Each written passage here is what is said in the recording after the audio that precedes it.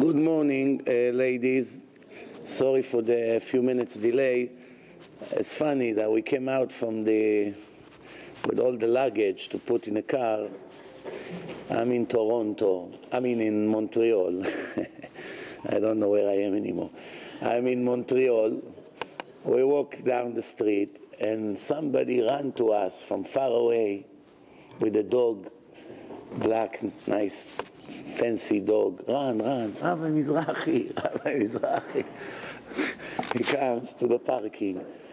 Ah, I'm so grateful to God that I see you in person.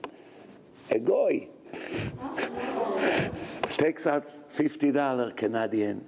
Finally, I have opportunity to participate with spreading your CDs. he almost cried. Soon I'm going to convert. I used to be a teacher for the New Testament until I met you. I changed my whole life on the street. He thought maybe it's one of the people from Shabbaton. Apparently, accidentally in the middle of the street, He's, I saw you from the shopping center. He started to run. Ah, he recognized me from far away. Small world, Baruch Hashem. Okay, so yesterday I already gave you one or two punches, but I saved the ten other ones for now.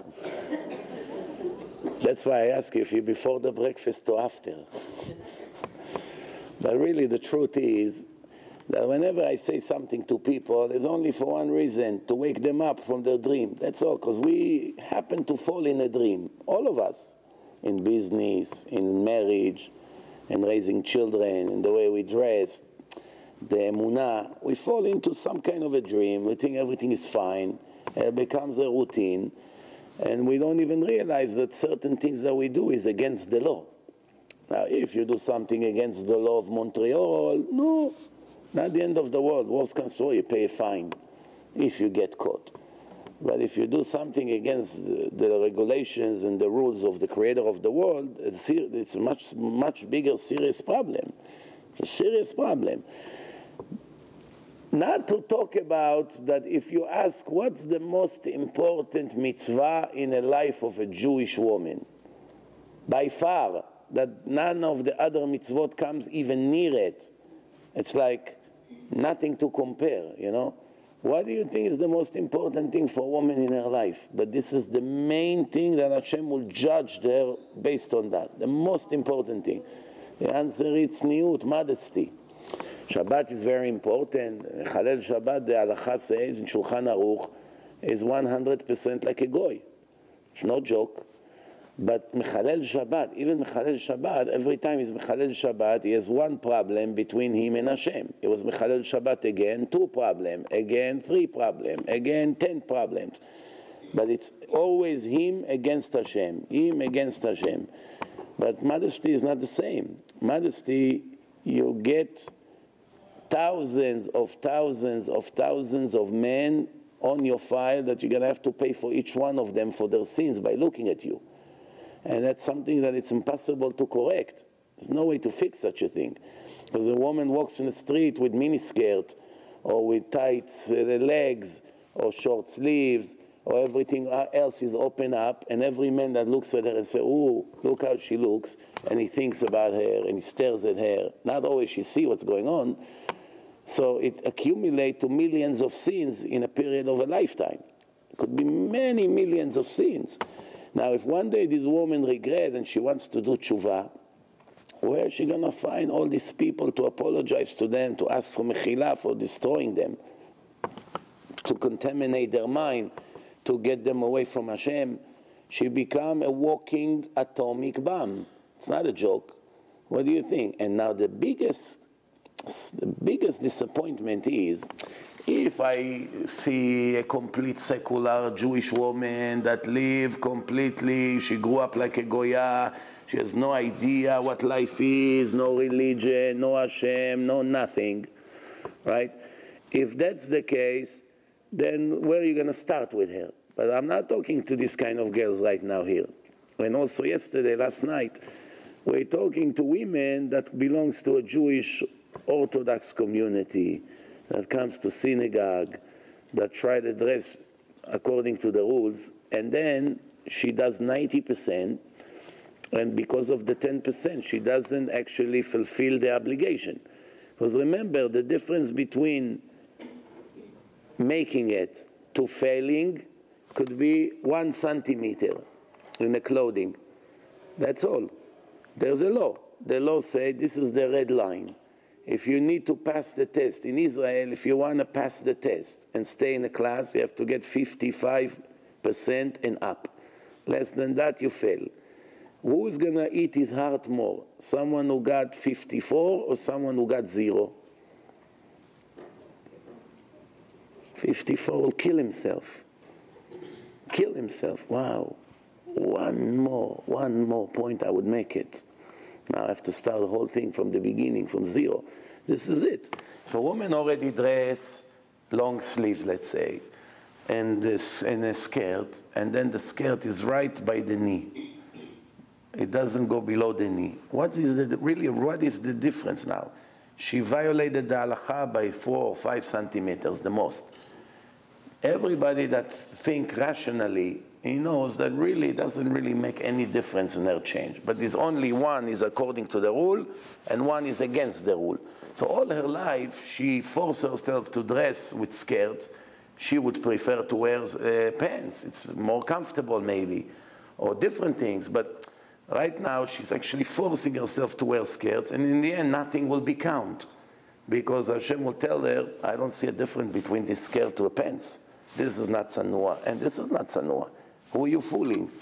And then she's going to scream, Why my rabbi never told me 40 years he see me coming to the shul? Why he never attacked me? It's not fair. If I knew how severe it is, I would have get different skirts. It wouldn't be the end of the world to get it a little bit longer. Now all this thing was for nothing.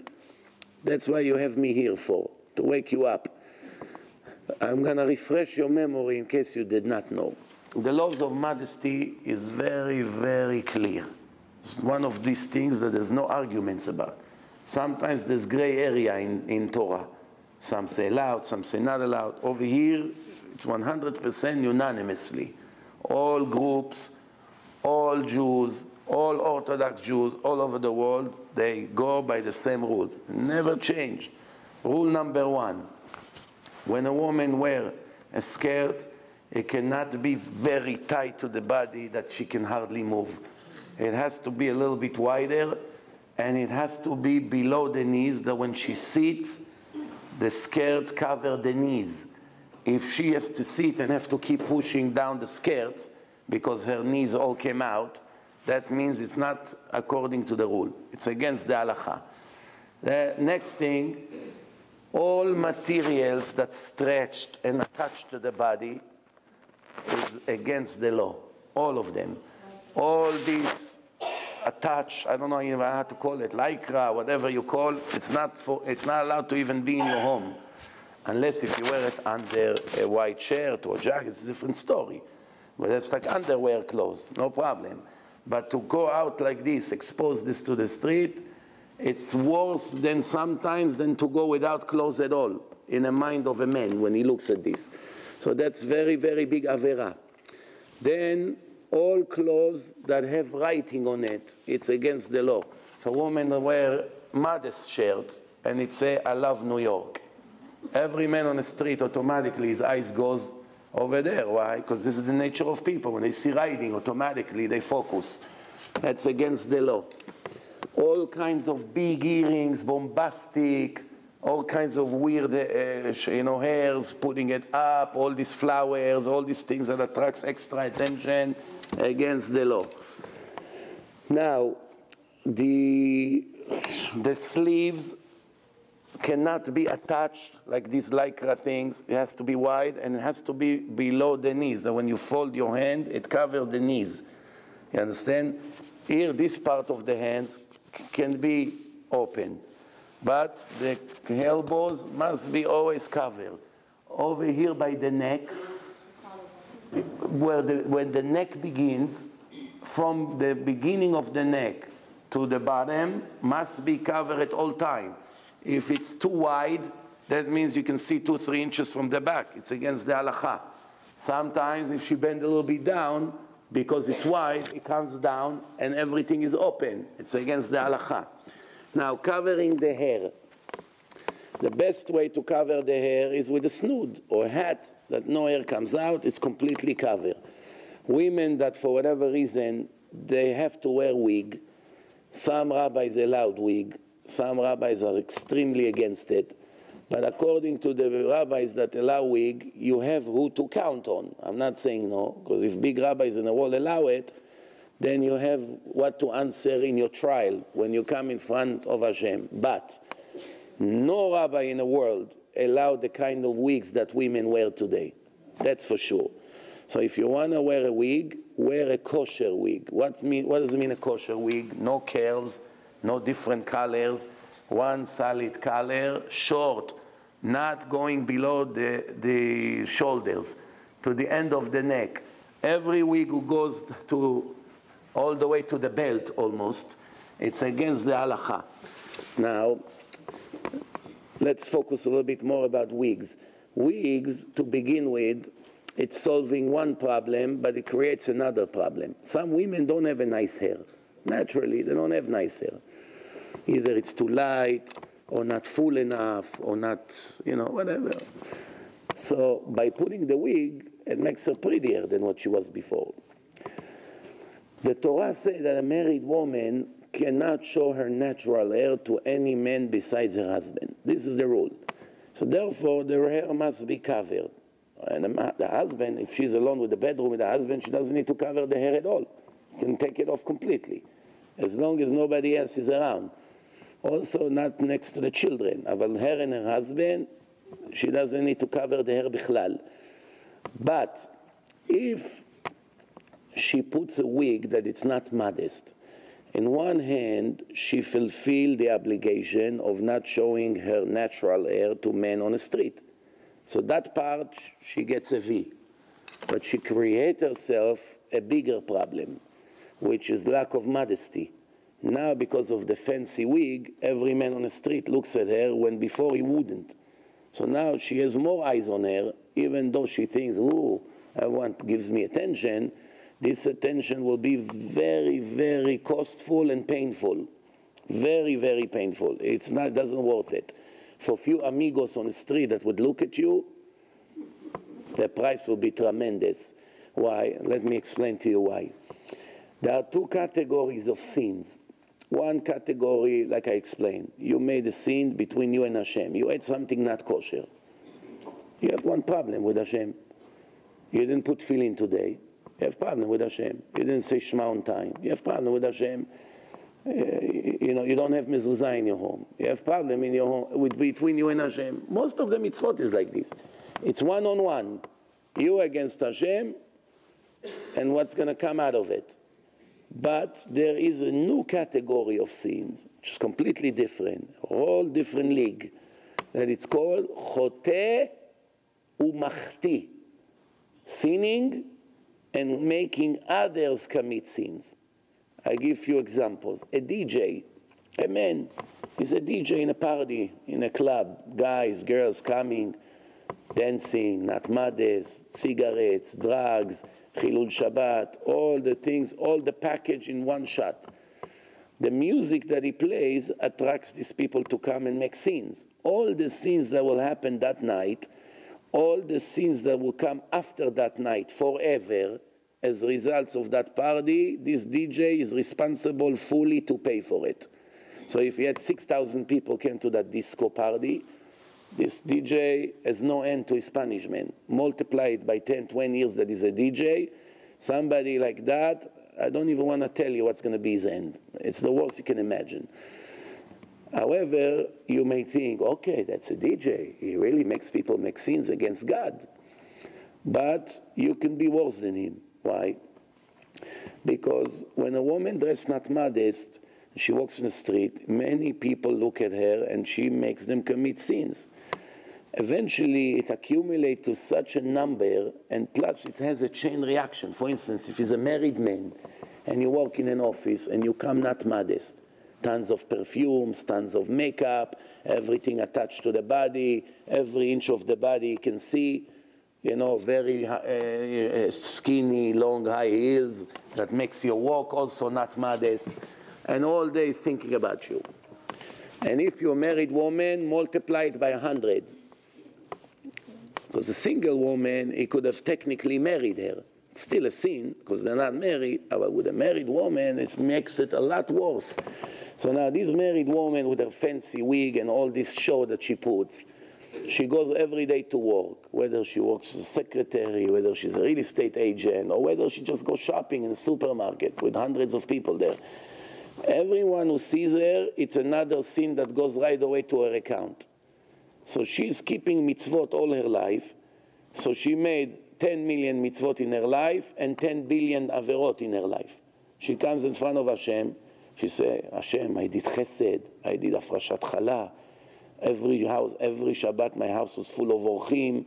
I sent my children to yeshivot. I never, chas v'shalom, cheated on my husband. I did a lot of wonderful things. I, I was strictly kosher. I was machmir, chalav Israel, kemach yasha. Everything I heard, I did. Hashem said, beautiful. Mamash, everything beautiful. There's only one problem. You made 10 million mitzvot, but you made 10 billion averot. Me? God forbid, I think you have it wrong. What, 10 billion averot? Me? How can it be 10 billion averot? And then he begins, she begins to see this guy, this guy, this guy. Millions of guys in a period of 30, 40 years. Now, it's not only when they look at her, it's all the thoughts is also a sin. Later, when they go back to their wives and fight with her, why is he fighting with his wife? Because she gained a lot of weight recently. She just gave birth. She's not as attractive. And he see this woman in his office with all her show in front of him all day. So it creates also shlom bayit issues. It creates men to do other sins without going into details. Therefore, she's responsible for everything. And now, again, if a girl, she's completely dressed like Goya, where are we starting with her? She's in a zero level, but you're not in a zero level. You're already very close to being a very good level. Give the last push. Give the last push. You have to know that just because everyone around, even they call themselves religious, are doing only 90% of modesty, not the whole thing, then it doesn't, it doesn't give you any discount. You're not going to be able to say to Hashem, Hashem, every religious woman I met was like that.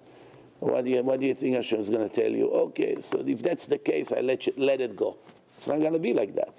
Same thing if a policeman catch you driving, speeding on a highway, and everyone was speeding. Really, everyone was speeding. But he caught you. And now he's about to give you two, three tickets. What are you going to tell him? Everyone was speeding? So I know, but you're the one who got caught. But by Hashem, it's not one out of a thousand get caught. Everyone get caught and everyone pays the price. Now, I explained to you the basics. Now let's give few proofs why we know that the most important thing in a Jewish woman's life is modesty. How do I know that? Maybe there's other things that are just as high, right? So the answer is, if a woman keeps modesty and Shabbat, 90% of her test in life she has in her hand already. 90%. If she doesn't keep one of the two, she cannot pass her test in life, which creates very serious complication for her. Why? Chas v'shalom, she may lose her share to the world to come. It's no joke. Do you know what it means to lose the share to the world to come? It's some of the scenes for instance, Michalel Shabbat, the Torah says, "V'nichreta nefesh ha'im Israel." I'm going to cut that person out of my nation. Cut him. I'm going to cut him. You don't need the interpretation. It's in the text. That Michalel Shabbat, besides the execution and the stoning and all the other punishments, uh, is going to get cut out of my nation, which means he lose everything. But, for instance, Nida, woman that doesn't keep Nida, when she lives with her husband without mikveh. Or even if she goes to the mikveh, she's not 100% careful in all the laws. Sometimes the stains, it's a question. She's, she says, ah, I won't even say anything. And Chas v'shalom, one of them was really Nida. So she got the impurity of Nida. A husband that have relationship with his wife in a time of Nida, it's a bigger sin than sleeping with his own mother People do not understand how big is this sin. When the Torah say, do not have relation with your own mother, do not have relation with your daughter, do not have relation with your grandmother, do not have relation with your aunt, do not, do not, do not, do not. All of a sudden, with your own wife, what does it say? In Isha tumata lo tikrav legalot ervata. A woman in a state of impurity, whether she's your wife, whether a single girl, girlfriend, whatever you want to call it, Jewish girl, if a man have relation with her in a time of nida, both of them gets cut. The man and the woman. Therefore, you have to be, those things you have to be very, very careful. Nida, it's a part of modesty because it's intimate lifestyle of this woman. When he said not to have relation with his mother, he didn't say don't come near your mother that maybe you will have relation with her. He just said do not have relation with her. And when it comes to your own wife, he said don't come near her in a time of nida, that chas v'shalom, he would, he would create a sin later on. So already coming near her, smelling her, touching her, hugging her, kissing her, sleeping in the same bed with her, all these things automatically is already a sin from the Torah. Sin from the Torah. However, it's not karet. If a woman slept in the same bed with her husband in Nida, and even if they touch each other at night, it's still not karet. It's a sin from the Torah, but it's not cut. But once they have relationship, that's it. So therefore, those things, you don't play with fire. I always say, people make sins. Let's not fool ourselves. We make sins, we will make sins. That's the way we are. But at least when you make a sin, be smart to know which sin to choose. Don't, sin, don't choose a sin that will destroy you for eternity. Make a sin that tomorrow you can do tshuva. You fast on Yom Kippur, you give a little tzedakah, you read some Tehillim, you cry two minutes to Hashem, and forgive you for the sin. But sins of karet, there's no way to do this and it's going to go away. No because the only way to erase it is through a major amount of suffering. And that's with a real tshuva, with we want suffering. For the 10 minutes pleasure to have years of suffering. We have too much suffering as it is. We don't need more suffering. So those things you have to be very careful. Now let me tell you why modesty is the most important mitzvah. I, I, hope that after what I'm going to say now, it will be finally clear in your mind that with this, you don't play games. You don't play with these games. This, you're going to be very, very strict with that. First, Elokim sonezima. Bilam was hired by Balak to curse the Jewish nation. He was willing to give him millions or maybe billions of dollars, gold, diamonds, everything he wanted. Only because they knew he's a prophet of the Goyim and he knows when there's judgment of Hashem one, one minute a day. And in 24 hours, there's a moment that is big anger in Shamayim, Midat Adin. Bilam knew to aim to that minute. Nobody knew. Only Bilam, Yodea Da'at Elyon, the Gemara in Aseret Brachot say, he was able to aim to the right second to put the curse and the curse make a damage. That's why they're willing to pay him so much money. So after all the attempts, Hashem did not let him curse. So in the end, when he saw that he couldn't do, he said, what can I do? Hashem doesn't let me. So he said to them, I have better uh, advice for you. You don't need me for the curse. Put your pretty goyot on the streets. Let them go not modest. And already all these Jewish guys will start following them, and then you'll see what happened. And that's what they did. And the Jews started to go to them, and thousands of Jews died. It was mamash an epidemic, just because of immodesty issue. Next thing, so, so that's what Bilam told Balak. Elokehem shel ele sone zima. Their God is very strict with modesty issues. The Torah say, וראה בך ערוות דבר ושב מאחריך, והיה מחנך קדוש. Your territory must be holy all the time, not only some of the time, all the time. Which means, what does it mean holy? Holy means according to the strict law of the Torah. No naked women, no women with not modesty, no mingling guys and girls in this area, mixture of them, no mixed dancing, none of these things that the Torah does not allow. For instance, Noah went into the ark. Noah and his three sons and four wives. Eight people goes into the ark, family, not strangers. Person with his three daughter-in-laws, the daughter-in-laws with the family, what's the big deal? Separation. Entrance for the men, entrance for the women. Not the same entrance.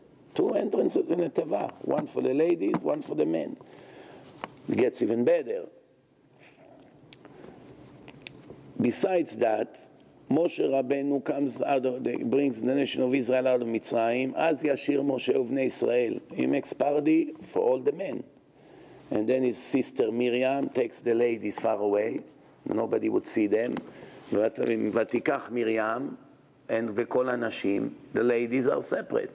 The ladies didn't dance. It wasn't a Moroccan wedding. You know, everyone together, hugging, kissing. Rabbi, we are warm people. You know what it is for us not to kiss our cousins, not to kiss my uncle, not to kiss my neighbor. It's not, it's in our culture. It's a very big sin. Married woman that let another man kiss her, even if it's her uncle, even if it's her cousin. What, she can marry her cousin? What, cousin don't think about each other sexually? They married. There's thousands of thousands of couples that are married, cousins. What is this? Who are you fooling? But a man that looks at his beautiful cousin, he doesn't think, I hope I can marry her, if her father would agree. It's totally strangers. What's cousins? Cousins have the same exact of attraction, just like two strangers. Same exact. And the time of the Torah, you could have even married your uncle. Esther married Mordechai, was her uncle. Today it's not the custom. But still, if you have a young uncle, what, he doesn't have eyes for you? if the, the, the, youngest brother of your father is your age, and he looks at you, well, he doesn't look at you as, as, a woman, what does he look at you as his daughter? So it's not tzanua, it's not modest. Now, one few more things that we have to know. The Gemara says that there was a very big Rav, his name was Abaye. Abaye and Rava. In every chapter in the Gemara, you have Abaye and Rava very, very big, holy, very holy. He has yeshiva. He has to give a shiur in his yeshiva in the morning. So the Gemara says that he heard that one man and one woman, two single men and woman, talking in the evening, she asked him if he can give her a ride with his horse and carriage when he leaves early in the morning, if she can get a ride with him. So he said, Of course, I'll give you a ride. So the rabbi thought, a young man like this, young woman like that. They're going to be hours on a horse and carriage, isolated in a forest. There's lots of trees. They go between the trees, quiet. What's the chance they're not going to make a scene? I have to follow them and protect that scene. But he has a shiur for all the Torah keneged kulam. Learning Torah, teaching Torah, millions of mitzvot. Why to leave this for one sin of modesty. What's the big deal? If they make one sin, it's one against millions of mitzvot.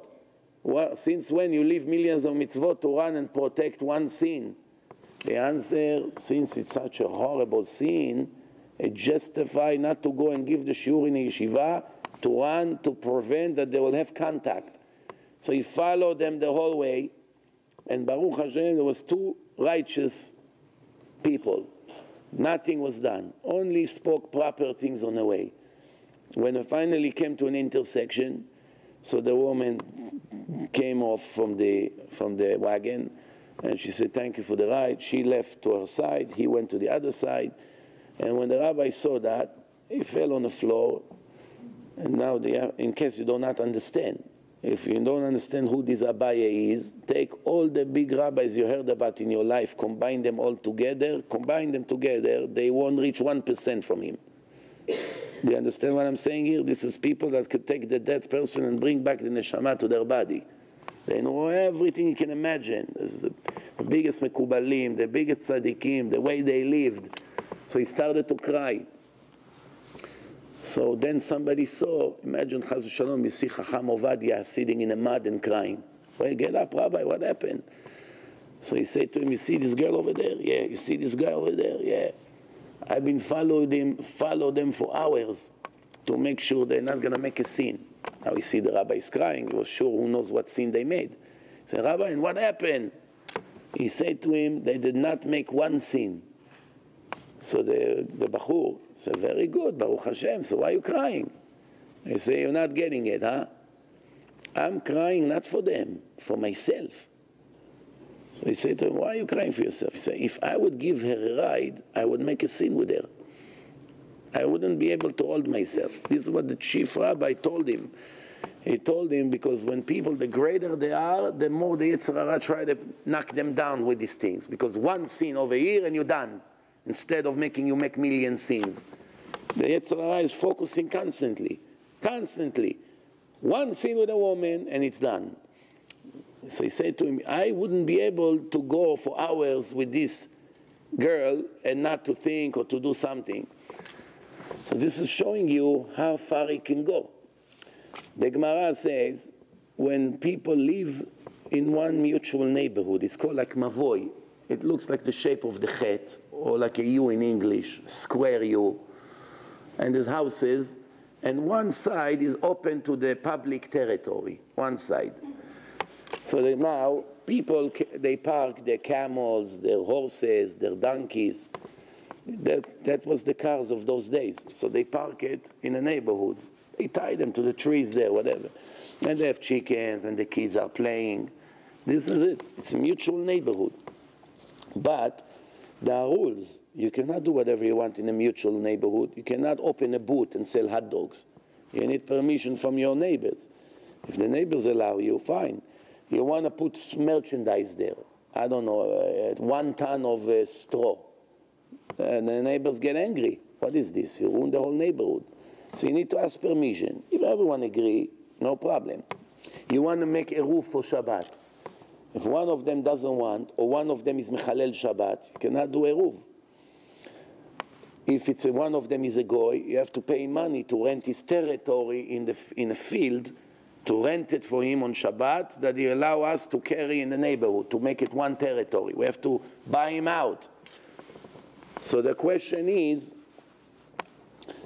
the Gemara says, now a Jewish woman, she wants to do laundry. She wants to do laundry. What kind of laundry she, they used to do in the old days? They used to make a hole in the ground. They make a hole in the ground, and then they put like a little cement on the side, and they fill and they bring water from from the well or from the lake, whatever, and they put everything inside, the water, and they use very primitive, old, smelly soap. It's called borit. So that's what they had in these days. And after this entire tent, the water is there, they take the laundry and they do the laundry. But to make a hole and fill it up with water in the middle of the neighborhood, you must get permission from all the neighbors. What is this? The neighbors get angry. So the Gemara asks if a Jewish girl needs to ask permission from the neighbor to make this hole, to do laundry or not? The answer, she doesn't have to. Why? How can it be? It's gezel. It's against the Torah to do without people's permission.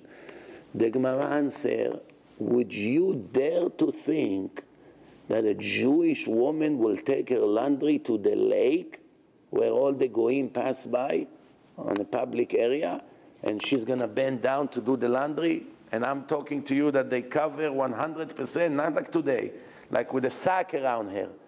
What are you going to see? You're going to see some, uh, like someone covered with a blanket. You can't see anything. But just the idea that the woman is bending down by the water and all these Ahmeds on their horses passing by, you would dare to think that the daughter of HaKadosh Baruch Hu would go in a public territory to do laundry? What's the alternative? Therefore, she can do, and even if the neighbors are against it, the Beit Din, the Chachamim say it's allowed. You have problem, you come to us. Why? The Jewish lady is not merchandise in the window of Macy's. Chachamim didn't say Macy's. you got the idea? There are, there are many, many examples like this in the Talmud. I'll give you one more example. One man young, single, saw a beautiful girl in his neighborhood, single. As he's staring at her every day, somehow he fell in love with her. He offered her to marry him. So she refused. She didn't like him. She said, no, I don't, I'm not interested. So every day he looks at her, he broke his heart. It's called in Hebrew, אהבה נכזבת. Broke his heart. So he went to his doctor. He told the doctor, I'm about to die from a broken heart.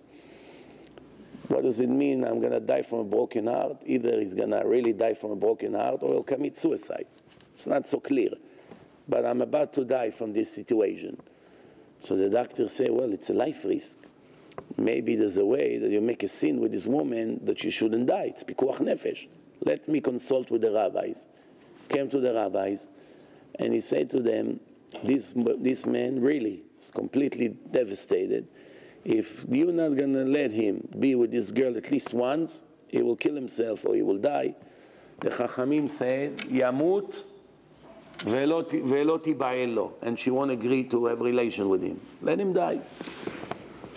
So the doctor was thinking, how can he save his patient? So he came to them after a day, he said, okay, not to have full relationship, but how about if she would walk in front of him a little bit and give him a nice smile, you know? like, you know, just that to relax him a little bit mentally. The Chachamim say, better he die and she won't walk in front of him. Let him die. So the doctor came with a third solution. He said, okay, let them talk on the phone. How can I talk on the phone 2,000 years ago? The doctor say, let them talk on two sides of the wall. There's a wall, She's going to stand on one side. You cannot see her, just hear her voice. And he's standing on the other side. That's what we call today talking on the phone. And they'll talk. She said to him, How are you today? He listen, I'm not for you. I'm not such a great girl, what you like you think. You can find something much better. This, anyway, I'm going away soon. Get me out of your head. What's wrong with that? The Chachamim say, let him die and she won't talk to him because they know what's in his mind. What does he think about her when he's going to think about her, when he speaks to her? The Chachamim say, let him die, and she won't talk to him on the phone. And today it's my friend, Rabbi, my Facebook friends, religious girl from Bet Yaakov. Hundreds of guys, Tony, Vinny, Ahmed, Yossi, Itzik, all kinds of archiparchi, the lowest people on earth, have to see her pictures. She doesn't put pictures with bathing suit. Rabbi, she's religious, what? First of all, it's not true. They put very bad pictures, all those religious girls. But even the ones who put modest picture, who told you allowed to put your modest pictures that the whole man, all men in the world will look at you? What is this? When a man comes to your home, the post office guy, you come, come see my wedding album. How would it look? Imagine your husband see that you in a house and Chris came in. Chris, hi, how are you? While I'm making you coffee, I want you to take a look at my new gallery. I doubt that if you're going to be able to come back home the next day. But when it's on the Facebook, the husband are sleeping. Do you know how many thousands of homes got broken from this lousy Facebook? Do you even know what's going on there? It's, it's uh, once a person is there, now he needs a miracle not to fall. A miracle. Just last uh, Tuesday, I had a guy came to me. Mamash, you should see how he was crying. Big, big Yamaka, tzaddik, crying, crying, crying. His wife met somebody on Facebook. She got a sex disease. That's how he caught her. She had a, he left no doubt. He went to the doctor. The doctor said to him, "Do you have it?" He said, "No." He said, I'm very sorry to tell I wish I wouldn't have to break the news to you. The only way to get it is from an intimate relationship with another person. Started to check all day. She's with someone. Religious girl? How can it be? Once you're there, there's no more religion. There's no more God. You're there, you're finished. That's it. What do you think? Well, a person, you take uh, the, the most the biggest tzaddik today in the world. You put him in a room with 10 naked girls. How long is going to stay there, tzaddik? One day? One week? If he's going to stay one week without making scenes, he's going to win the Nobel Prize winner of Hashem. Because I'm telling you that Abaye follow a dressed, modest girl. He followed them for a few hours and he said, I would make a scene with her. What would happen if you put him with these not modest girls on Facebook? Of course he would fall.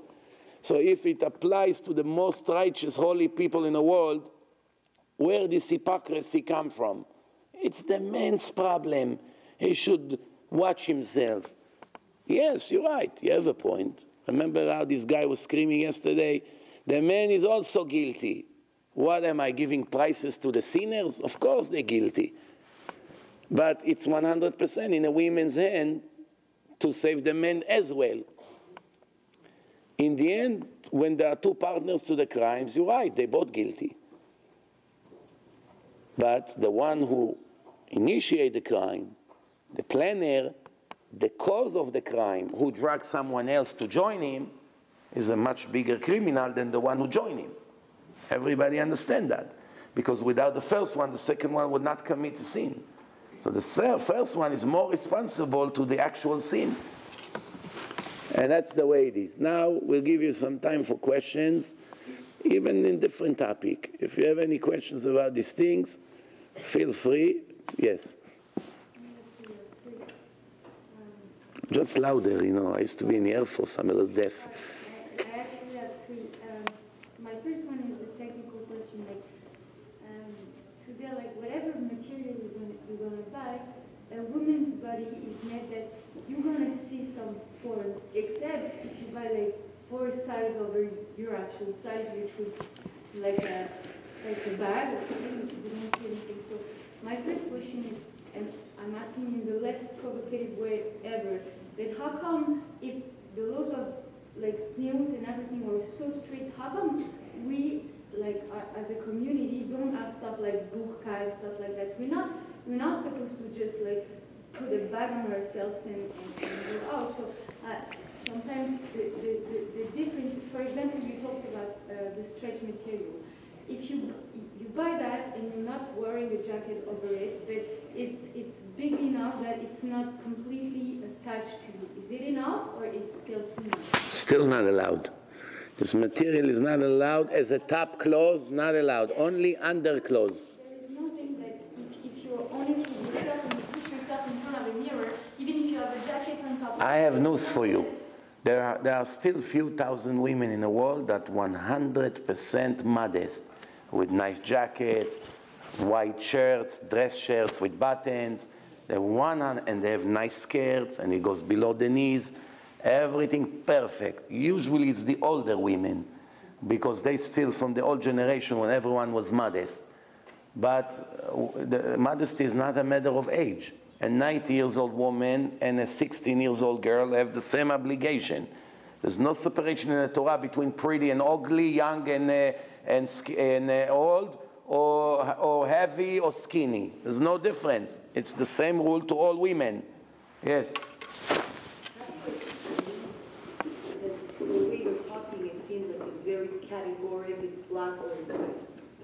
Yet, we're exposed to the community, whether it's Breslov, whether it's Chabad, whether it's, I, I, I see a category of women that follow within what you're saying, but how do you explain all these husbands and all these women that call themselves extremely religious, like it's cutthroat, but they dress, and I agree with you, where I, as a woman, look at them and I'm like intimidated by the way that they're dressed, and it's on a day-to-day. so first of all, there's a lot of ignorance when it comes to women's modesty because men is embarrassed to talk about these subjects. How many men in the world gives lectures to ladies and teach them the laws of modesty? And the ladies, for whatever reason, the Rebbetzins, they deal with afrashat chala. One trillion afrashat chala will not be equal to one minute of the lecture we did here today. Do you understand what I'm saying to you? Afrashat chala. If a woman will not do afrashat chala, she is not going to Gehenom. One minute she walks in the street the way she is, she has serious problems. One lecture like this is equal to thousands of thousands of other not important uh, subjects. This is life and death of eternity here we're discussing. So first of all, a lot of these religious women do not know the rule. They don't know the rule. Even religious people have desires for crimes, whether it's food, whether it's women, whether it's relationship, whether it's all kinds of things that exist in the world. Hashem did not give desires only to secular people or to goyim. He gave the same desire to very religious people from birth who grew up in the house of the biggest rabbi. You understand? Kids of rabbis still are open to drugs, they're still open to Facebook, to iPhones, to women that are not mothers who, you know, tempt them on the street, whatever. They have the same desire. The only thing is, how do you deal with this desire now when you're knowledgeable and you understand the price you're going to pay? I always say it all comes down to the price.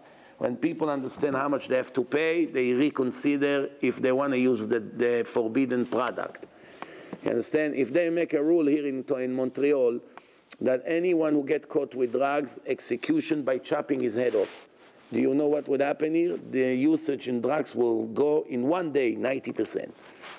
But the people are hypocrite. They don't want to look fanatic and strict. You understand? So therefore, you know, sometimes the punishment is the only way to stop people. Desires are strong, but when a person knows the price is going to pay for that desire, same thing a restaurant. If you go into a restaurant and you and they see the food there, the, the saliva is dripping. Ah, wow, what food! The best chef in the world. But then they serve you the menu, you didn't know. And you see, bottle of wine, $20,000. Steak, $350. French fries, $200. Bottle of beer, $50. So listen, me and my date, it's $2,000 this dinner. Thank you, thank you. Actually, we're not so hungry. what took away the desire? I will enjoy 10 minutes and pay $2,000 for it. What, am I a fool? You understand?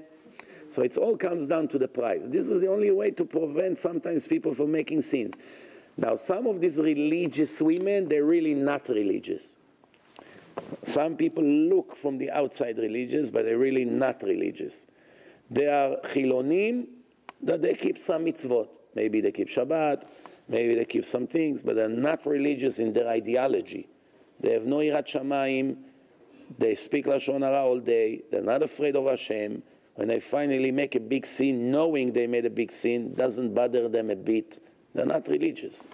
Religious means someone who always thinks what Hashem thinks about me, what Hashem thinks about what I'm about to do, how not to upset my father, how not to be ungrateful to Hashem, how always to keep myself clean and make him proud of me. That's a religious person just a robot to keep few mitzvot for different. I have a, my, my aunt married to a man, all day in his life walk with kippah and tzitzit, the biggest rasha. Why is like that? Because he have a store in a religious neighborhood. No one would buy from him if he won't dress like that. You understand? I know a few kids went off the derech, they became like goyim. He lives with a goya girlfriend, but he dressed Hasidish. Why? because he doesn't want his children and sister, I mean sisters and brothers to lose their shidduchim. If the community would know what he became, it's death sentence for all his ten brothers and sisters. So out of mercy to them, he continued to dress with a show when he comes to the area. Why? What are you going to do now? If you're going to see this guy make a scene, you're going to say, how come religious people do these things? Not everyone who looks religious is religious. Sometimes people that look not so religious, they have bigger irat shamayim. Sometimes I see people barely have a kippah. They do daf yomi, mikra targum, they are never going to make sins with the ladies, they makpid on glatt kosher, they honest in a business. He's much more religious, this guy with his jeans, than this one with the kaputa and the fair hat. What do you think? Hashem judge people by the way they look? He judge them based on what's inside. Hashem choker klayot valev. Yes?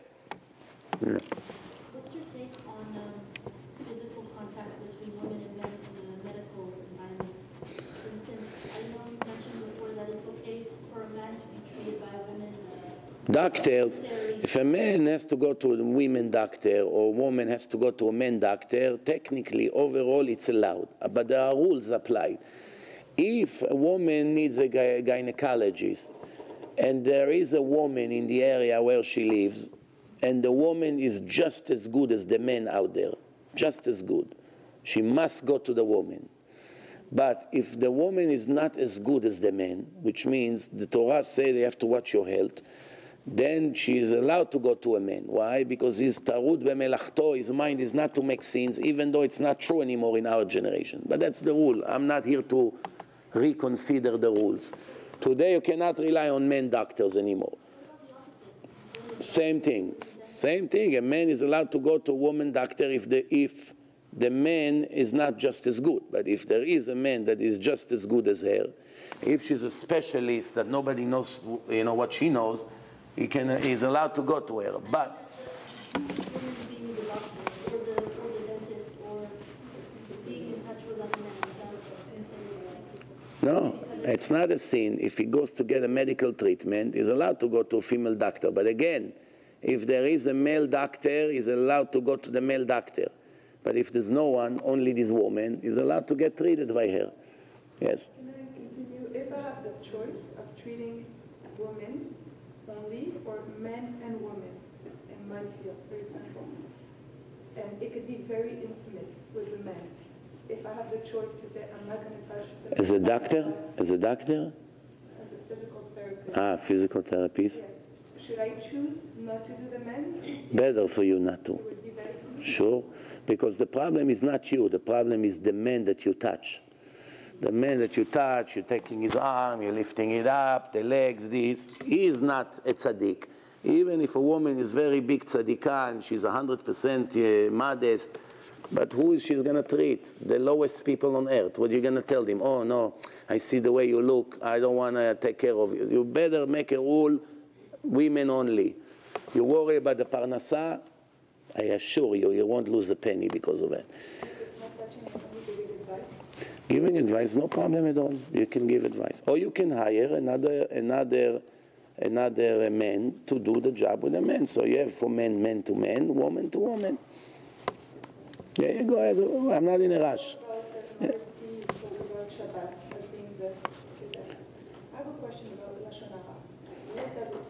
Also, very big sin, lashon hara.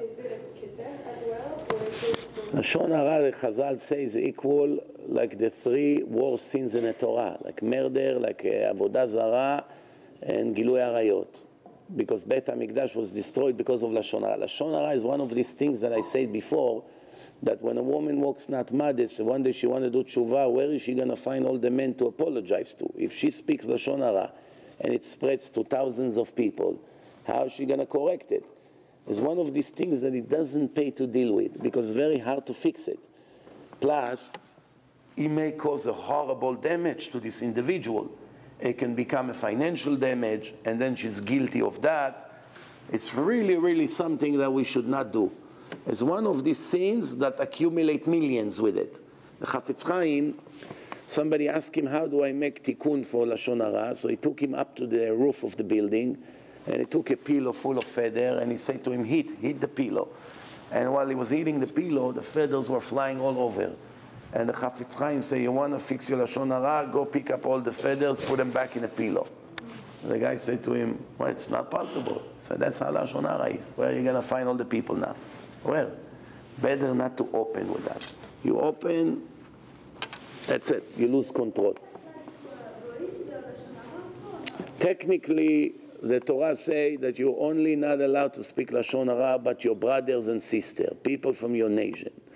But from experience, I tell you, if someone speak about Gentiles that are not from his nation, it's going to get him used to Lashon Hara, and tomorrow he's going to speak against the rabbis.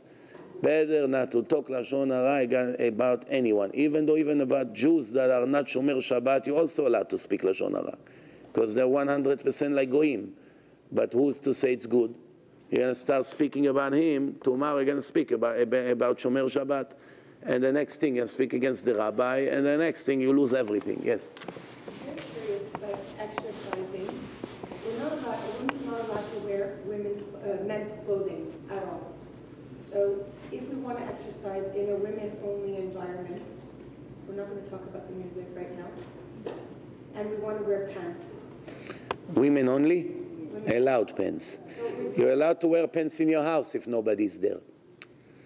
And if it's only women, you're allowed pants, you're allowed bathing suit in a pool with women only, there's no problem. No. Huh? Said, no, no pants. No pants at all, even in a training? I apologize. No men's clothing at all. So I wanted to know how literal that is. Uh, it's a question if pants consider in our days men clothing. Pants is women wear pants all over the world, so it's not dedicated to to uh, men only. Pants, millions of women wear it, so therefore it's not only some, you, something that is only for men. Then you, then you understand. The clothing for exercising can be anything. Anything you want, as long as it's respectful, you know. The head, The, uh, the head, the head. Well, the problem with those problem with these gyms is uh, what do you do if somebody walks in, like a man, like someone who fix over there? That's really the problem there. Why many women go with skirts to those gyms? Because sometimes some guy come, the electrician or the janitor, and all of a sudden you're with pants over there, and it's a problem. It becomes a problem. So it's better to put pants and skirt on top of it, like some ladies do. Uh, covering the hair, if for sure there's no man, you also don't need.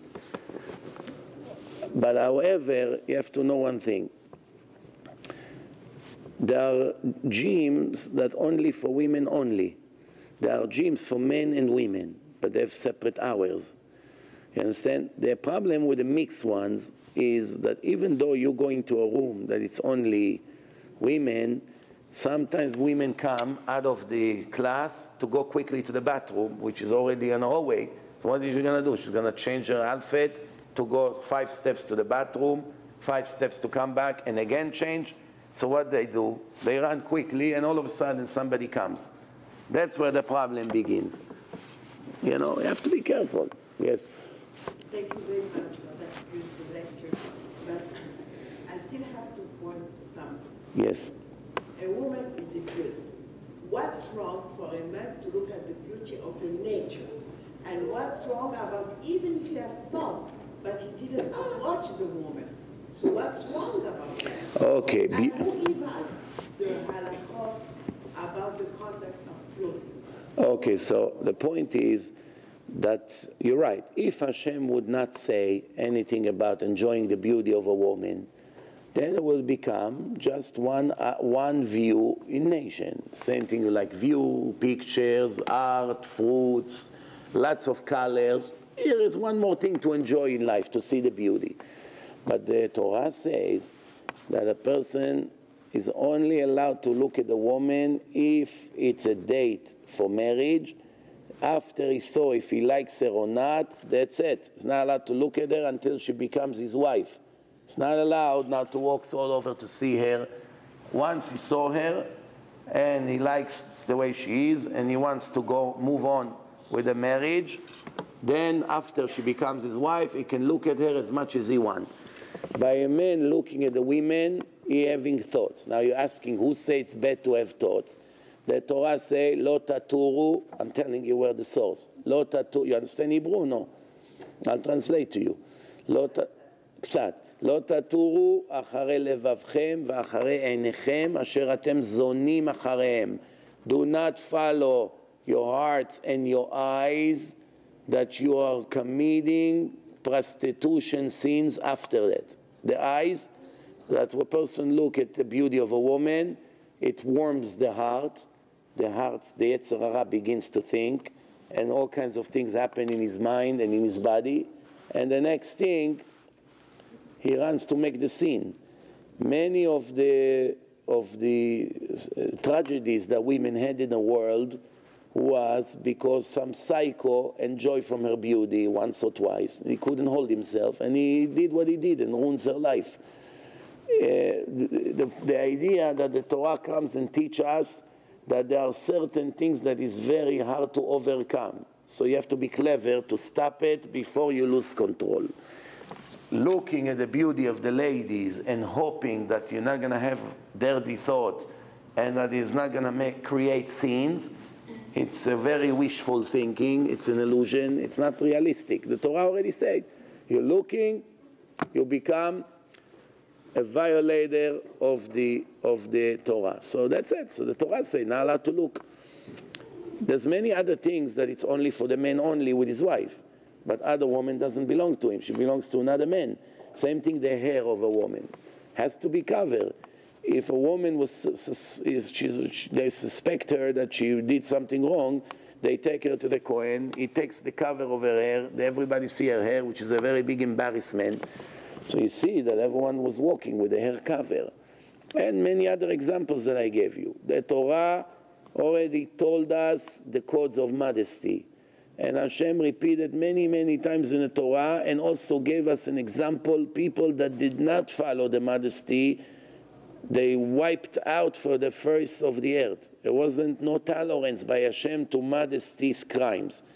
Other crimes, we see that Hashem did not retaliate, retaliate so much, but Avodah Zarah, idol worshipping, and modesty issues always reflect the worst punishment that you can read in the Torah. And uh, it leaves no doubt. That's it. You don't play with these things.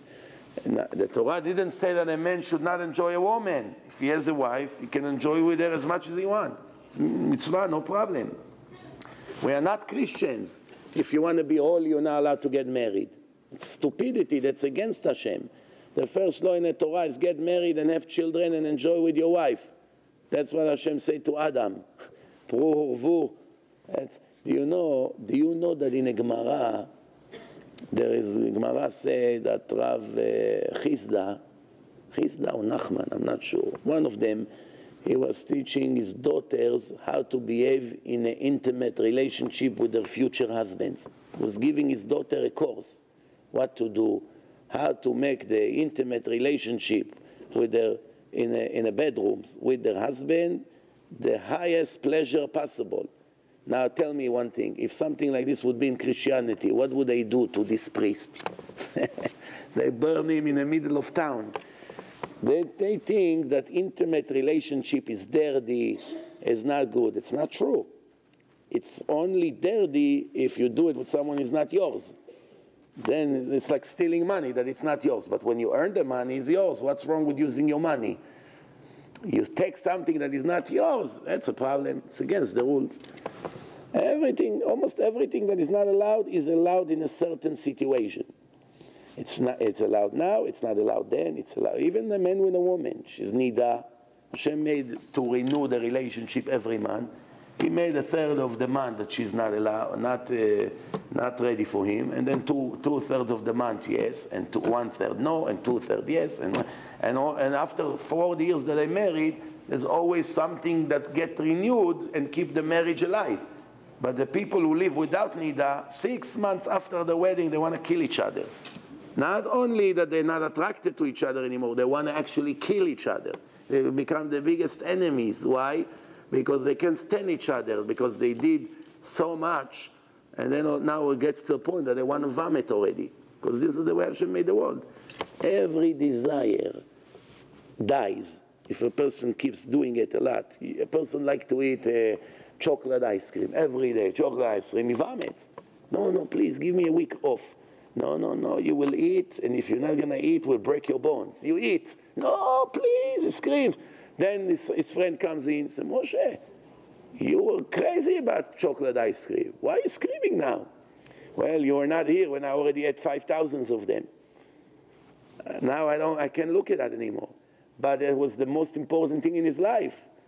But that's Hashem made the world. That something physical, it's all an illusion. This desire will die out. The more you do it, the more you're going to get tired of it. Unless if you stop and start again and stop, that's the way to do it. Yes.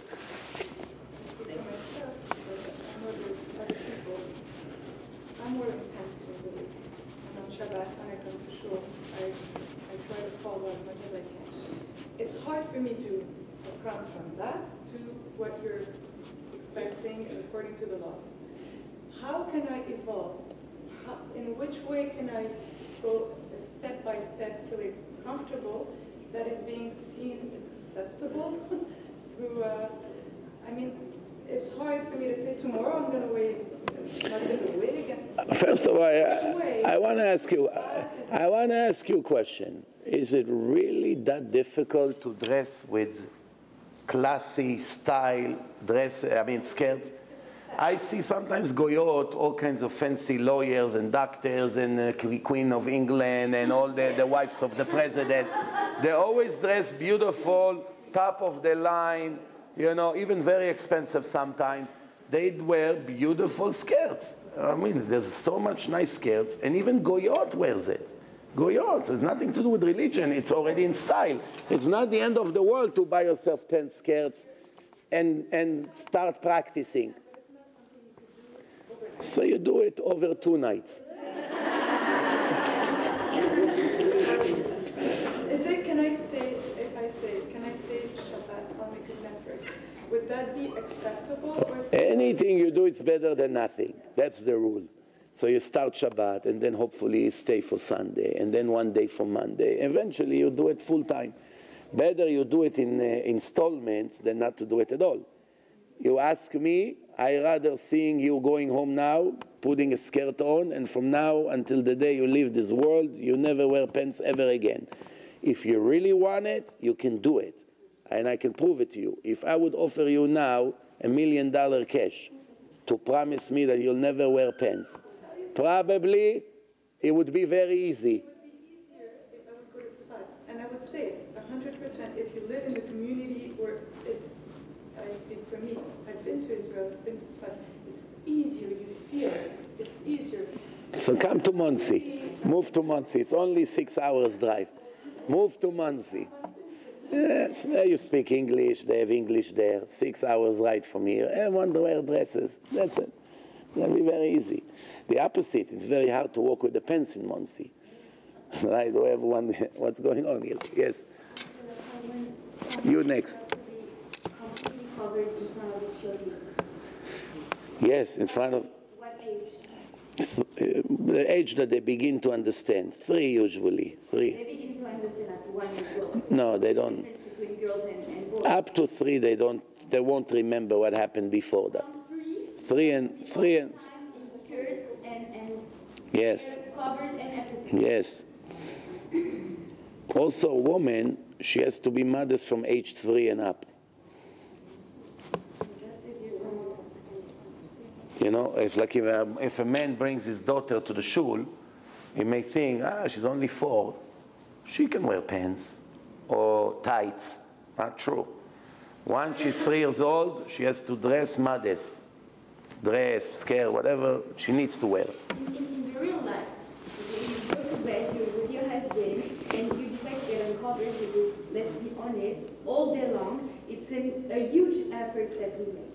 And in the middle of the night, you're sleeping, and your four years old, eight years old son wet, wet himself or has a nightmare, and you run to his room. What are you going to do? Put the wig back on, and, and, and it's No, I tell you something. Yes, Wait, wait, wait. So First of all, they have this special uh, night uh, gown, whatever they wear, to go to sleep.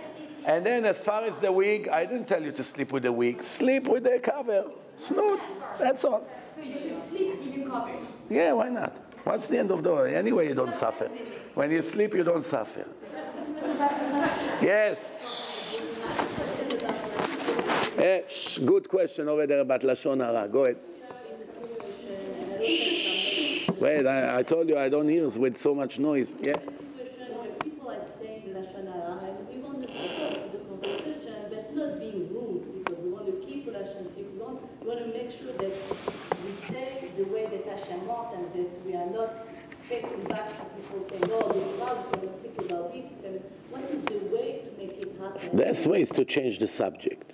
Oh, I had a story to tell you. You know, I forgot. Oh, and then after a minute they forget. But if they're really angry about someone, so you tell them, listen, you know, I would love to hear and to help you to take things out of your chest.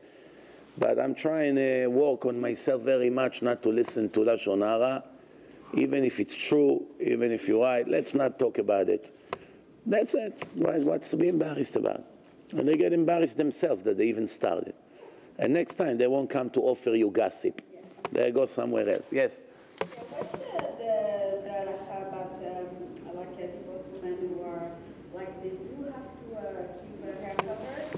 Divorced? All poskim say yes. Rav Moshe Feinstein is more lenient about it.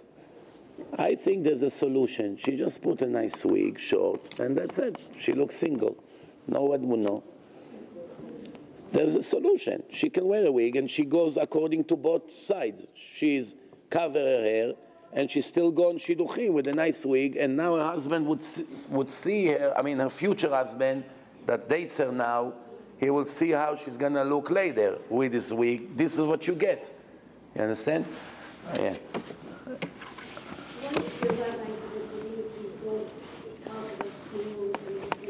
Okay, so there's thousands of communities in the world. Usually, most of the rabbis, and unfortunately, you're right, they're not getting into uh, subjects like that because they already see that when they speak about it, some people in the community get angry. Now, usually, let me explain to you what's the problem in our communities. Many of the rabbis, they die to talk about it. They really want. It bothers them very much how the people in a community dress or behave. But they considering now all the details. They say, what would I gain by being strict and tell them to dress modest? And then I'll get fired by the board because usually the people who sits on the board are not exactly Rav Ovadia, yeah? It's people who barely keep Shabbat. Some of them don't even keep Shabbat and there are ladies, is fancy, schmancy ladies who are, the difference, the connection between them to modesty is zero. And they are the first one who get angry. And then they instigate with their husband, how do you hire this rabbi? How are you going to write him a check, this man? Fire him. Uh, we don't want such a strict rabbi here. He's making the community too strict. And then with all this brainwash that the sinners and the wicked people have against the Torah, they take all the angers against the speaker. So that's why they're afraid. But I suggest for these rabbis, I understand it's a very difficult test. I'm not here to judge anyone. But I give them a great advice. I have a friend that had that problem. Big Talmid Chacham. But he knew if I'm going to speak about it five, six times, I'm going to get fired from here. He already saw who he's dealing with. So he called me.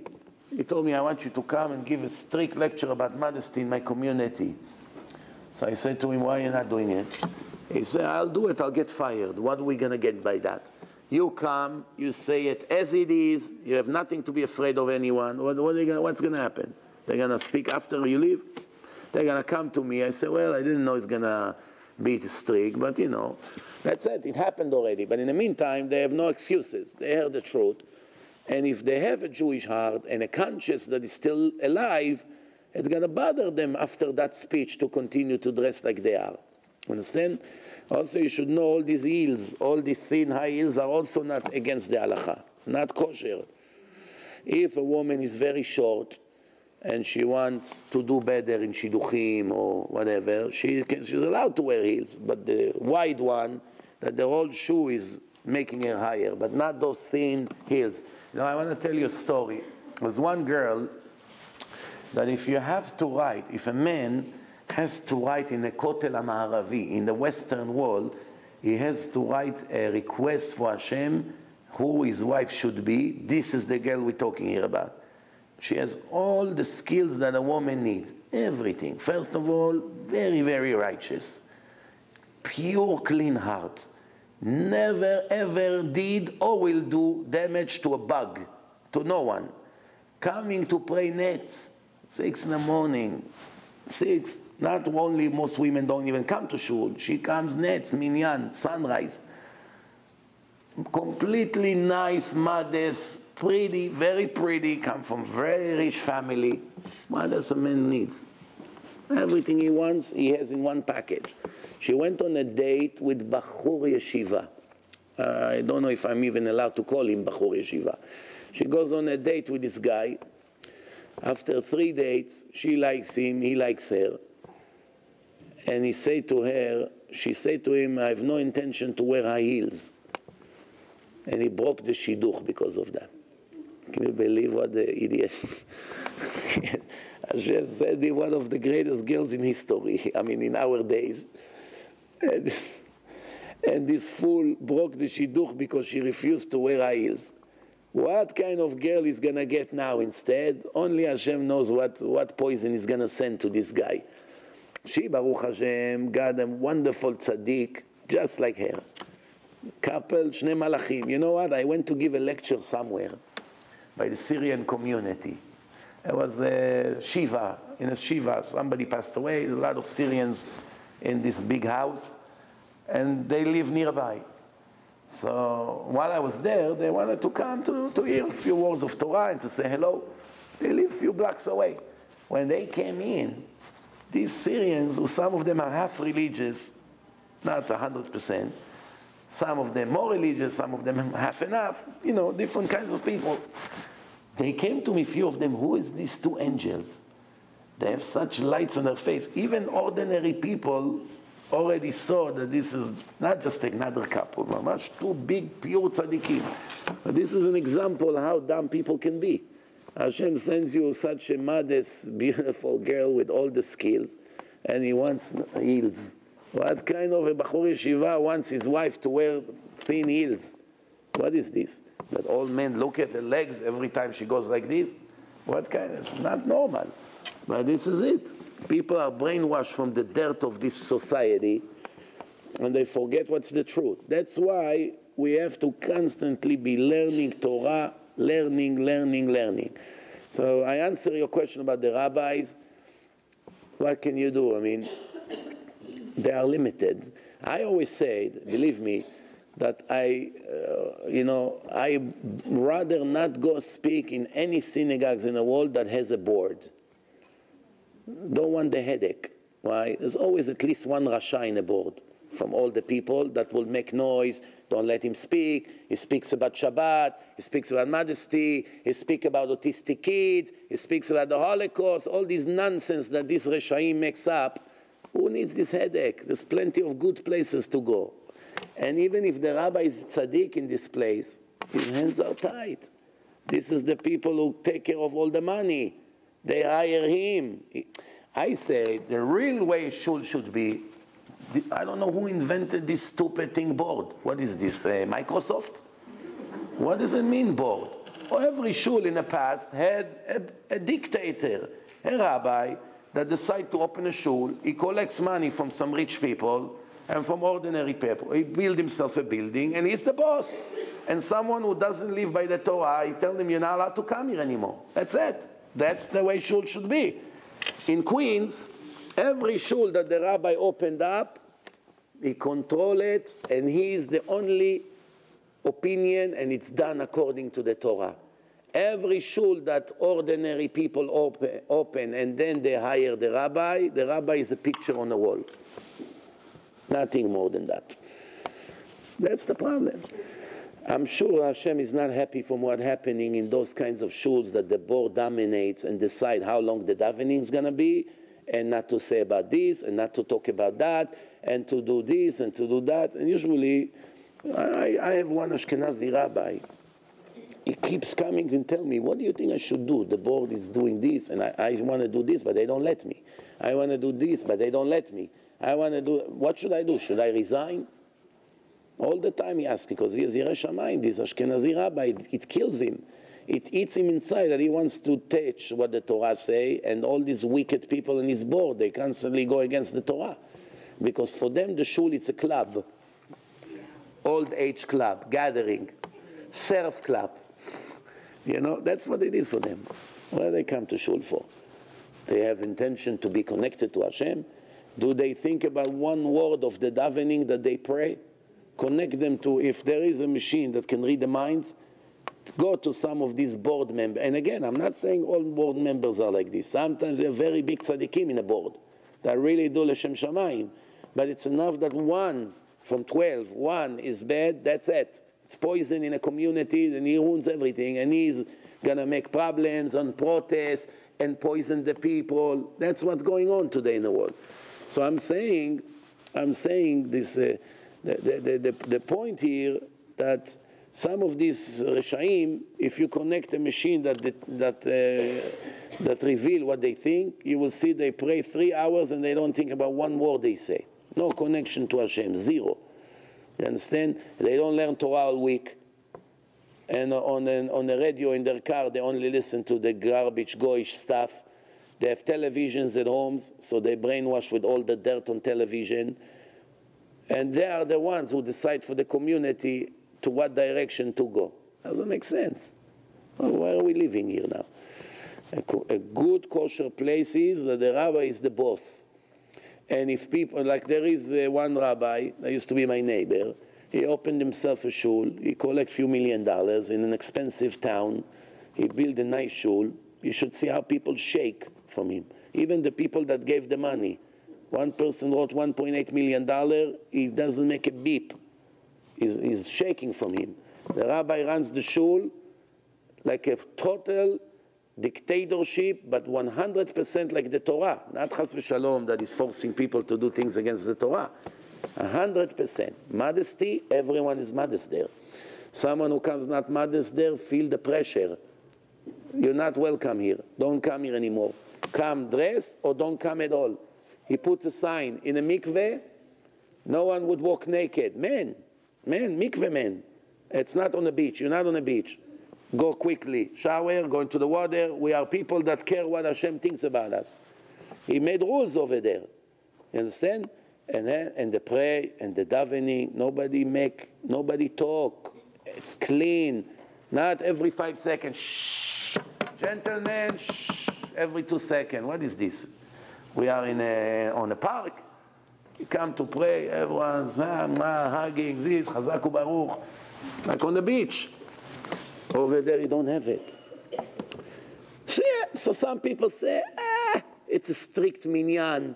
It's too strict over there. What do we care what people say? We only care what Hashem says. People can talk and bark as much as they want. Who cares? We only care what Hashem thinks about me. I'm running this shul. I do everything lichvodcha. You don't like people talking in a davening? I'll do everything I can to prevent it. You don't want the ladies to come with the short mini skirts and high heels and tons of perfume? I'm going to do everything I can to make it not happen. You don't want the, all kinds of other things. You don't want fighting. You don't want machlokot. You don't want someone who doesn't know how to read two words to be the chazan. I'll do everything I can to prevent it. What people want, they want to kill me, let them kill me. As long as I know when I come to Shamaim in front of you, you're not going to have anything to blame me for. You are in charge of the community like a general in the army. If one of the soldiers committed suicide, who get punished? The head of the, of the whole base. How didn't you see it coming? Or if few soldiers rebelled and did something wrong, they fire the head, the general. The general doesn't know the soldiers bichlal. He doesn't check every soldier. You're on the top of the pyramid, we hold you responsible for all problems in your base, in your group, in the army, the chief of the whole army, every problem in the army, the prime minister call him. What's going on? What is he going to say? I wasn't there today. I was in a different town. He has no, even though he really couldn't prevent it, but he's all responsible. Fix it. It's your responsibility. Same thing, ahead of a community, has responsibility that the community would work exactly like the Torah wanted to work. And I want to tell you something. Yesterday was one young guy here who in his mind, maybe because he's young, he doesn't understand that there's no permission in the Torah to lower your level to the level of the wicked people to find favor in their eyes. Maybe they will agree to become religious. It's a very big crime. There's no, we're not allowed to compromise on the divine laws. You bring the wicked people to the level of the Torah. You don't bring the Torah to the level of the wicked people because in 99% of the time, the Torah will stay on the floor and people would step on it forever. That's the rule in Kiruv.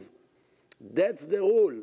You don't wish to be, come, come, no problem, here, sit. Baruch Hashem, you came to shul. It doesn't work this way. All these organizations who speaks like that, they don't make two Baalei Tshuva a year. They're only good by collecting money. They're not doing Baalei Tshuva. The opposite, they make the wicked people die wicked. Because, because they give them compliment, you're great, and you're good, it's enough what you do, it's also good. They stay like that forever. What reason they have to change? What reason they have to change? no more questions. Ooh, wow. Oh Hashem, you're active. Very good, no? Shh. crisis, for example, okay, especially summertime. So I find miraculously a dress or into fasting knee, whatever. A lot of times here it's a little too low and uh, So you wear a shirt underneath. I wear shirts, the shirts that you buy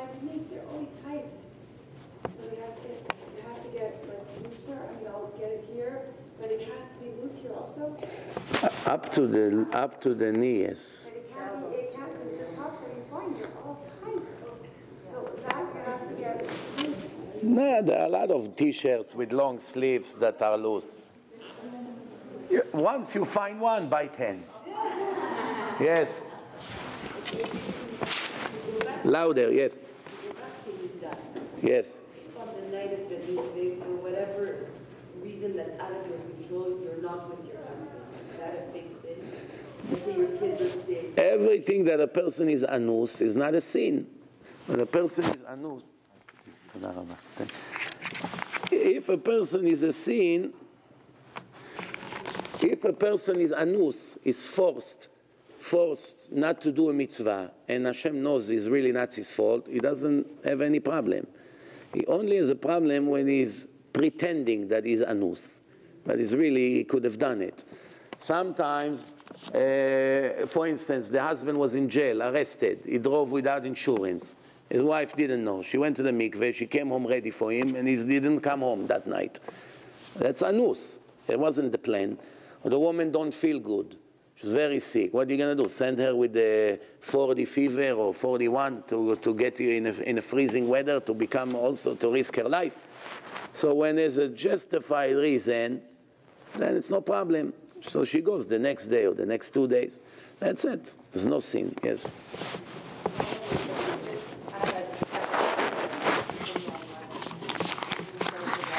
Normally, that's the situation. It's happened to me a couple of times. I usually, I just want to know if this is the right thing to do. I call my rabbi for an for, for an advice and tell him, as he's coming home tonight, there we go, I have a bronchitis or I have, should I, you know, I'm really not feeling well. And Well, usually th- he's things- like, Is that the best thing to do? Okay, things that is open for a few possibilities and you're not sure what to do, then you need a rabbi to tell you what to do. But if you know that you're very sick and you cannot move out of bed, what's the point of getting advice from a rabbi? If the rabbi tell you, yeah, yeah, I encourage you to go, and you know you cannot go, so he's going to be able to go just because he gave an advice. Advice you need when you don't know the law. You don't know what the law says about certain things. You have to call to ask, I can do this, I can do this, I can do that. Which one of the three should I do, Rabbi? And he tells you, and that's what you do. But when you have a, a physical limitation, person is vomiting, is dizzy, is in hospital, whatever the case is, what does he need to ask? He knows I cannot do, and that's it. So, questions is a, is a matter of halacha or advice to what direction to go, where to put the kids, issues in shlom bayit, debate between the husband and wife about ideology. For this, you need the rabbis. But you know, I mean, if, if you have uh, two different medicines for cold, you don't ask the rabbi which one is better. You ask the pharmacist. Tell me which one is better, which one is safer. He tells you which one. You don't need to call the rabbi for that. One more question, yeah? Um, not for me. If another woman, um, she's already at menopause, um, she's never done, for example, nida in her life, um, how important is it for her to go one last time to the It's critical. We don't get as much sweat with her. I'm very glad you asked this because I had it five minutes ago in my mind and I forgot about it while I was talking. So thank you for reminding me. A woman, an older woman in her 40s, that she get her menopause, and that means she's not gonna be in period anymore. She has to know one thing. All she has to do is to go one last time to the mikveh, and now she's pure to her, for her husband for the rest of her life. She won't need ever to see mikveh anymore, and she will never be impure anymore. But if she did not go to the mikveh, all the next 20 years that she was with her husband, every time was the worst sin in the Torah.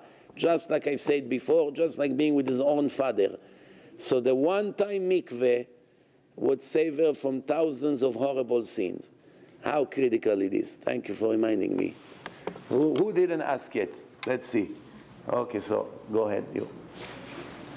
Yeah, ooh, you, you want, yeah. It's okay, you know. in a very straight way. Um, what is the gravity of not sending your kids in a, in a school that is not kulo Torah? I'm not saying not separated and everything. I say, is it a bad thing from, uh, let's say, Orthodox women to want their children to also study Chal and, you know, just to... If it's a good- if it's a- If you ask the Hasidim, most of the Hasidim don't want to hear anything from Limudei Chol. They want only Kodesh, Kodesh, and in Yiddish. If you tell them Limudei Chol, they look at you like you an out of space creature. You ask what's the right advice. If the yeshiva is a good yeshiva with good level of Torah, it's boys only, it's girls only, there's good rabbis over there, and they also teach over there math, science, English, etc. It's perfectly fine to send the kids to that place. In Israel, are no. I know because in Israel it's much more complicated than here. Over here, the, the schools are private. In Israel, the government runs the show. If you're gonna start let the government dictate for you today about uh, tomorrow they take over the Torah and they'll force you to learn Christianity. So make it clear, you, you come from Canada, you're used to those amazing schools to both and try to do it perfectly. Perfectly. You to make Aliyah, and you want, you, you have no choice, you want your kids to stay on the right level. You have no choice, you have to give up No, not necessarily. There's, pri- there's private yeshivot in Israel, plenty, that teach limudei chol also. Do you know what the problem is? It depends who is in charge of the yeshiva. If it's Hasidish yeshiva, you're not going to find limudei chol there. Most of them. By the way, it's also not true because where I live, there is a Hasidish yeshiva. All kinds of kids go there, even Litvish, and they teach math and English and everything. They just don't make a big deal out of it, chol. But they teach it. They have math, they have science, they have, they learn, they learn English, they learn spelling. So, you know, you'll find, don't worry. When you want to make aliyah, you'll find kosher yeshivot for your kids. Yes?